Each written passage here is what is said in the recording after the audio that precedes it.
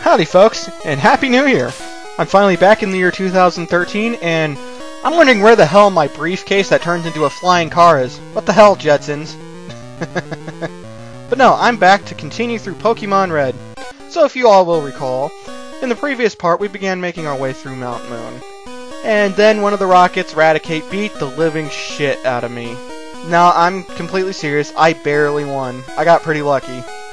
Anyway, after having healed, we're now all set to continue through the mountain. And this rocket right here just summed up, in that little opening phrase, why I love Team Rocket so much more than any other villain team in all of Pokemon. No, I'm serious. Um, Team... Oh shoot, what are the names? Team Aqua and Team Magma. Weirdos. Actually, Team Magma seems like a friggin' cult, and Team Aqua look like pirates. No, I'm serious, they look like pirates. So I can't take the, either of them seriously. Team Galactic, I believe is their name. Friggin' psychopaths. No, I, I can't stand them. What's more, their outfits are stupid. I can't stand them. I think they're stupid. and then we got Team Plasma, which is definitely number two on the list for best Pokemon villain team. Team Plasma, well, they... One of the things that makes them number two is the fact that they're kind of more realistic than any of the previous ones except for Team Rocket. The thing that makes them definitely not number one, though, is the fact that they're dressed up in medieval knight gear, and then you have Pokemon Black 2 and White 2, where they're dressed up in these, like, SWAT special unit uniform things that still kind of look like pirates. Yeah, I, I don't get it. Also, uh, what what the hell? There's... Well, you know what? I'll save that for a game I'm gonna do later. Ugh! No, I'm mad. You made me mad. Team Rocket will blacklist you. I'm I'm shaking. Really, I'm I'm terrified. Hey, stop! I found these fossils. They're both mine. so this super nerd, I'm sure several people will argue with me and say he's the toughest opponent in Mount Moon, but I think they're wrong. That Raticate kicked my ass so bad, and I ripped through these guys with no trouble. And it's not like my Pokemon have exactly gotten significantly stronger since the Raticate battle. Also, I love how Grimer looks in this one. He looks spaced out and happy and all that. He just, I, I love this art design for Pokemon. There are so many that I absolutely love in this game. And then there are some that we've actually already seen this one, but there are some that look pretty much the same. And we're going to see him again as soon as this Grimer goes down, but I'm referring to Voltorb. Voltorb has pretty much the same animation, like appearance and everything, that he does in all the future games as well. I guess the designers really liked how Volt Voltorb looked. but yeah, I wouldn't worry too much about this Grimer.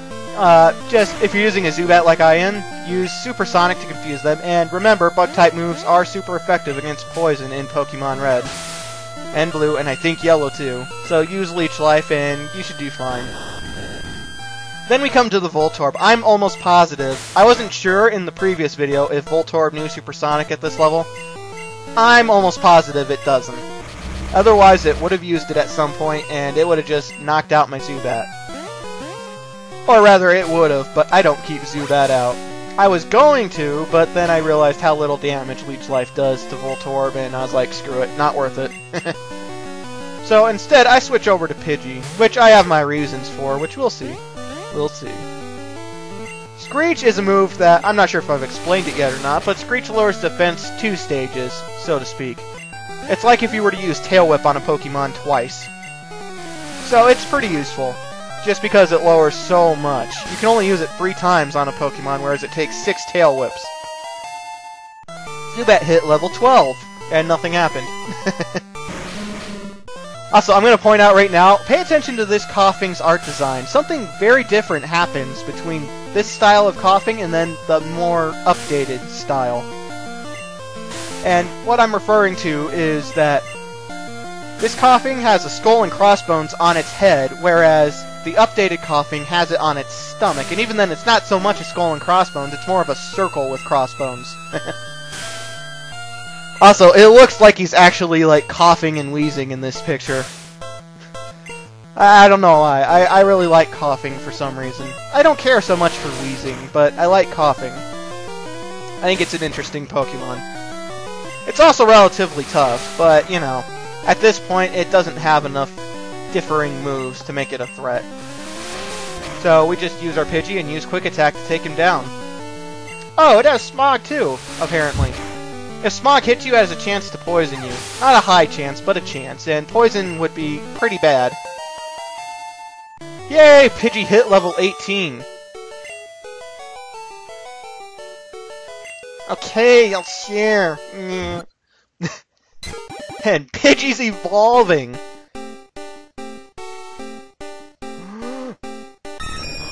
It's a Pidgeotto! This is actually my favorite art style for a Pidgeotto. I, I like the pudgy, the pudgy appearance the best. Anyway, at this point, you'll get to choose between either the Dome Fossil or the Helix Fossil. You only get to pick one, but the difference between the two fossils is which Pokemon you can revive from them from the fossils much later in the game, and I mean much later in the game. the Helix Fossil, I believe, revives into Omanyte, and the Dome Fossil revives into Kabuto. For this playthrough, I chose the Dome Fossil because I like Kabuto better than Omanyte. Either way, though, they're both rock slash water type Pokemon, so they may be worth your while to get one. Anyway, though, when you get to this point, if you were playing Pokemon Yellow, as you can see, the colors are a little different. But, stop right there. What the? That fossil is Team Rocket. Surrender now or prepare to fight. No, no, no, no, no, no. That's not how the motto goes. It's prepare for trouble make it double. To protect the world from devastation, to unite all peoples within our nation. To extend... Oop, no. Sorry. It's to denounce the evils of truth and love, to extend our reach to the stars above. Jessie! James. Team Rocket, blast off at the speed of light. Surrender now or prepare to fight. Yes, that's right. wow, I can't believe I screwed up the motto. And yes, I'm a nerd for actually remembering it, for the most part. But yeah, you get to actually fight Team Rocket if you're playing Pokemon Yellow. Which, it's just awesome that they did that. Pokemon Yellow is very heavily based off of the anime, or cartoon, whatever you want to call it. And it's not just at Mount Moon that you get to battle them in Pokemon Yellow. You can actually battle them at several points throughout the game, and that's probably my favorite part of Pokemon Yellow. I consider Pokemon Yellow to be inferior to Red, but I still think that that's like the funnest part of Pokemon Yellow. Anyway, though, as far as a battle goes, they're definitely tougher than the guy with Raticate. At least I think so. Although I have a Mankey, so maybe that's why I was having more trouble with them as opposed to him. Um, I will not be showing every single time you run into Team Rocket through this playthrough. I'm sorry, I'm playing red, not yellow. But yeah, this is what I'm talking about. Look at the uh, newer style of art for Koffing. The skull and crossbones are on his stomach. He doesn't look like he's coughing anymore. Instead, it looks like he's got this evil, evil looking smirk. Actually love it. Like I said, I really like Koffing. I don't know why, but I like him. Um, but yeah, they're pretty tough, and that Mankey went down. they're pretty tough, though, so if you're playing yellow, you know, make sure you're, you're healed before you get to the point where they interrupted you. And yeah, that's Team Rocket. The first battle's not too bad. It's a lot of what we've already seen. Their Meowth is definitely the worst of all their Pokemon. With, with its bite attack, it just tears you a new one. A brat beat us?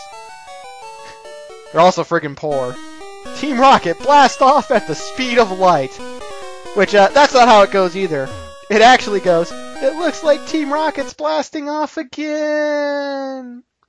Anyway, back to Pokemon Red. So we're going to take this ladder, and we're actually going to exit Mount Moon in just one second. Boom, we're out of Mount Moon. Route 4, Mount Moon to Cerulean City. So if you actually did Mount Moon in one straight shot, then uh, you're probably pretty weak at this point, and you're probably a little concerned, what if I run into more trainer battles? I I'm not prepared. I'm out of healing stuff. I'm, I'm not going to be able to win or survive. Well, the fact is, is that there aren't any more trainer battles until you get to Cerulean City. But if you come up here, and instead of going down the ledges, and you go up here, you can find TM number 4. And TM number 4 contains... Whirlwind. Whirlwind is a completely useless move in Pokemon Red, Blue, and I think even Yellow. What it does is it blows wild Pokemon away, and it's pretty much the exact same thing as running away. In later versions, it becomes more useful because you can use it to force trainers to switch out their Pokemon. But because it does, I'm almost positive it doesn't work like that in Red and Blue. Maybe it does in Yellow, but I'm pretty sure it doesn't. Because of that, it's worthless in this early, in these early games. So you can sell it for some money. I actually know a lot of people like this girl who wants to get a bike, but doesn't want to ride it, just wants to keep it shiny. And I'm wondering, why? a plain city bike is good enough for me. You can't put a shopping basket on an MTB. And now, this is pretty old, but I'm pretty sure an MTB is a mountain bike. These bikes are cool, but they're way expensive. Really? Let's, let's find out. We got just the bike for you, and it is a million Poké Dollars.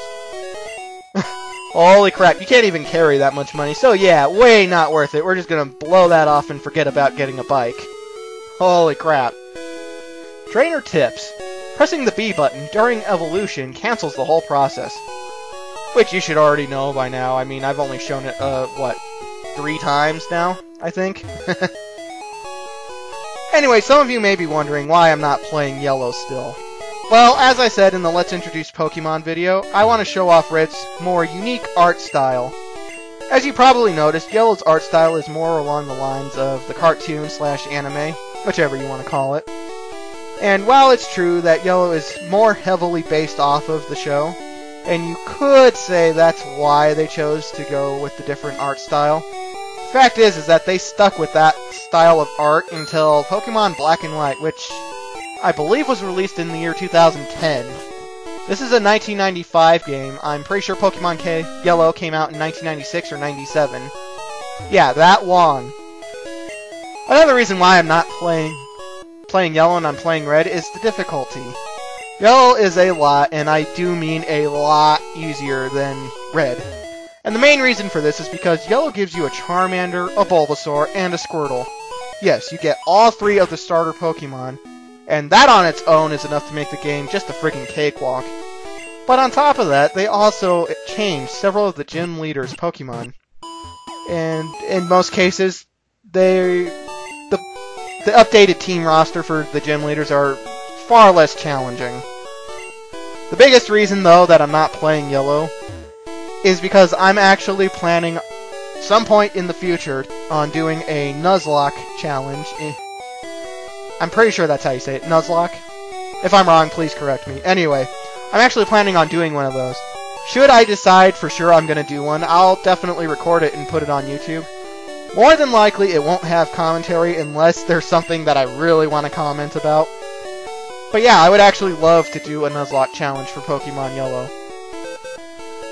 So, yeah, that's the biggest reason why I'm choosing not to, but the other reasons as well, especially the art reason. Oh, and you can rate your Pokédex. I don't think I've shown this off yet. And apparently I suck. I've only gotten six Pokemon. But to be fair, I'm not exactly going to catch... I'm not exactly shooting to catch them all during a playthrough. I will have an extra video showing every single Pokemon's Pokédex entry. In fact, that's probably going to be the My Thoughts video, as opposed to still pictures like I normally do. Something funny, though, that I've actually been thinking about since I started just a couple seconds ago explaining why I'm doing yellow, um, is that I remember from when I was younger that so many people thought that in Pokemon Yellow you could catch every single Pokemon. Because if you're familiar with Pokemon, then you'll you'd know that they like to do something cheap that makes you have to buy two two different versions to get all the Pokemon. This is something that I actually don't care for, but people thought back then that if you got Pokemon Yellow, you could catch everything. Now that is a huge lie, but even the folks that are that were working at GameStop, and GameStop was not nearly as huge as it is now, were telling people that yeah, you could catch every Pokemon in Pokemon Yellow, and the whole time I heard that, I was just thinking, oh, you can't. uh, but what's really funny about this is the fact that I remember when Emerald came out, the same exact thing was happening. People were saying that, and at least people around me were saying that. And people at GameStop were still saying that kind of baloney. It, it's just, it's hilarious that they actually did that. At least I think so. So this guy wants to trade, and yes, there are in-game trades. You can use it to get some pretty rare Pokemon. For example, if you have a Poliwhirl, which is surprisingly easy to get, then you can get a Jynx. I cut out me going into that building because I talked to a guy for like three minutes worth of footage, and he all he does is explain something that the game actually tells you about. That's the room, in case you were curious. He talks to you about the badges. Now, um, right around here you're going to want to save if you haven't already, because, well, well, you'll see. Even their police force has trouble with Team Rocket, which is hilarious. You want to save before you take that step. Yo, Red! You're still struggling along, struggling along back here? I'm doing great! I caught a bunch of strong and smart Pokemon. Here, let me see what you caught, Red! Ha ha ha! Oh, jeez. So yeah, it's another rematch with Blue. This is the third one, and he's much tougher than he was in the last one. As you can see, his Pidgey evolved into Pidgeotto, and his Pidgeotto is by far his toughest Pokemon. It's it being level 18 and having some of the highest stats of any Pokemon we've faced so far. Aside from that friggin' Raticate. Damn you, Raticate! but yeah, aside from that, it this, these things just make it so much harder than anything else that Blue has right now. So your biggest help here is actually going to be status effects, like Confusion, as you saw. And Sleep. Sleep is helpful too if you have it. It's unlikely that you do, but if you do, then you may want to use it. Paral paralysis is helpful, too, but not as much. Because of that, it has quick attack. Also, moves such as Sand Attack are going to be a ton of help here. For example, if I were to send out Pidgeotto and just start spamming Sand Attack, then its Pidgeotto would have lower chance of hitting me if you have a Pikachu or a Geodude at this point in time, then, you know, I'd recommend using them to just make Pidgeotto that much easier. Because Pidgeotto does have Sand Attack, though, so you want to be aware that it your accuracy is more than likely going to fall a little bit. This can be easily fixed by simply switching out your Pokemon. But yeah, that takes care of his toughest Pokemon. At least what I consider his toughest Pokemon. None of the other ones ever give me this kind of trouble. But this takes us into Abra. And Abra, honestly, it's a free kill. Since it has no attacks other than teleport, it can't really hurt you. If you took heavy damage from Pidgeotto, this is your chance to heal. And other than that, you know, just attack Abra. You can use anything. Even your weakest Pokemon can more than likely knock out Abra because it can't hurt you. I don't think Blue will switch it out. It's an easy KO. Definitely the weakest Pokemon it has. And since Bug-type moves are super effective against Psychic, I take this chance to use Abra to heal Zubat, as well as knock it out. but yeah, that's Abra. Really, nothing. Definitely doesn't stand up to Pidgeotto. Pidgeotto is so much tougher. Anyway, this takes us into Rattata. And though it's not as tough as Pidgeotto, Rattata may still give you some trouble. The big thing to remember is that it has Hyper Fang. And, you know, Hyper Fang's really overpowered for this point in the game. It's actually pretty strong through the whole game, in case you're wanting to use a Rattata and Raticate. Another thing to remember is that it has Quick Attack, so it has a move that'll let it go first. So, in case you've forgotten about that, just keep that in mind. You say your Pokemon's about to go out, and it's about to go out. You think that you're to be able to get the last hit because you're faster, and then it pulls out quick attack, and then your Pokemon goes down. That can completely screw you over. However, as long as you remember these things, you shouldn't have any trouble. It's his second toughest Pokemon that he has in this battle, but it's still just a Rattata. We've fought plenty of them by this point. Nothing to worry about. It's no Raticate. so yeah, we just want to finish it off. And now, the next Pokemon, the strategies, you know, don't use the same strategy. Well, I guess you could call it a strategy. That I'm going to actually talk about for its up for Blue's upcoming Pokemon if you chose a Pokemon other than Squirtle. But his next Pokemon is Bulbasaur. And Bulbasaur is nothing special. He'll use Leech Seed at some point, and then he'll just spam Vine Whip and Tackle. I don't even know what his other move is, because he doesn't ever use it, I don't believe. But as long as, you know, you're set to go, then I wouldn't worry about it. If you have a flying Pokemon, then that'll just make this so much easier, because it's going to use Vine Whip more often than Tackle. Also, much like uh, Sand Attack, if you switch Pokemon, Leech Seed's effects will stop working. So, you know, there's that strategy too, in case... Oh, its other move is Growl, so yeah. but there's that strategy too, in case, you know, you feel like you're stuck. So yeah, I use Sand Attack just to make sure, because my other Pokemon are a little low, and, you know, I'm a little concerned. But, honestly, I could have just started using Quick Attack and taken him out already. Leech Seed's very annoying, but at this early this early in the game, that's all it is, is annoying. By the end of the game, it is so awesome. I, I love Leech Seed towards end game. anyway, though, yeah, if you have a Pidgeotto like me, if you've been using the same Pokemon, then just have your Pidgeotto use Sand Attack and then spam Quick Attack. Or just spam Quick Attack. It'll go down before you know it. Come on, finish off the Bulbasaur. There we go. and yeah, we beat Blue! Huzzah! Hey, take it easy, you won already! Squirtle's evolving!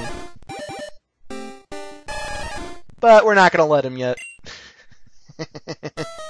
hey, guess what? I went to Bill's and got him to show me his rare Pokemon. That added a lot of pages to my Pokédex. After all, Bill's a world-famous Pokemaniac. He invented the Pokemon storage system on the PC. Since you're using his system, go thank him. Well, I better get rolling. Spell you later. what a douchebag. Anywho, this is it for part number 6. I'm Gene the Pink Panther. Stay tuned for part 7. Happy New Year.